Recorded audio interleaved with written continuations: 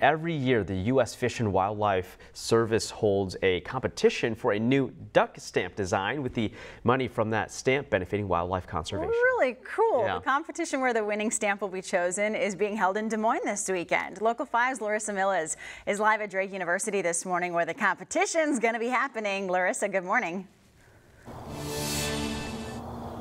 Yes, good morning guys. As you mentioned, I am here on Drake University's campus where that competition is happening. Now, the federal duck stamp competition was conceived in 1934 after President Franklin D. Roosevelt signed it into law in the Migratory Bird Hunting and Conservation Act in order to help benefit wetlands. So according to the U.S. Fish and Wildlife Service, 98 cents from every federal duck stamp that's purchased goes to benefit wetland conservation and wildlife habitat the winner of the comp this the week this weekend's competition has a winner chosen whose artwork is then turned into that stamp. And I'm here with one of the competitors in this weekend's competition Kira Sabin. Good morning again. Thanks for joining us. Of course. Thank you.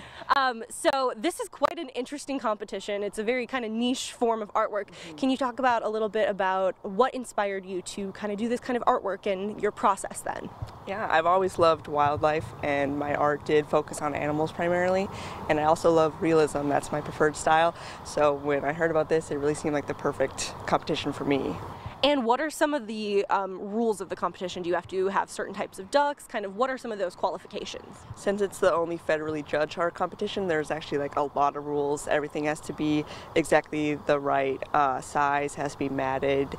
You can use any material, but you have to do hand drawn, uh, no digital work or photography. There's actually a lot you need to consider. And what kind of was your inspiration this year into the stamp that you submitted? Uh, there's every year there's five eligible species, so you get a plan which one, which duck you want to focus on. And I chose uh, the northern pintail just because I've always loved them, and it was a perfect opportunity to do that. And you share a lot about your process on TikTok. You have like hundreds of thousands of followers on TikTok. What is that like to know that there's a community who are interested in something like this? Uh, it's it's really lovely. That was my main goal. I wanted more people to know about this uh, fundraiser. Essentially, uh, it's been lovely, and I actually get to meet some of them here this weekend, and that's going to be super exciting and really surreal. Very, very cool. Well, we're going to continue talking with Kira throughout the morning, but I'll send it back to you for now, Samantha. Thank you, Larissa. I think this is so fascinating. You can see some of this year's entries on your screen. Hey, be sure to check back on weareiowa.com later today for more information on the Federal Duck Stamp Contest and a link to the competition's live stream.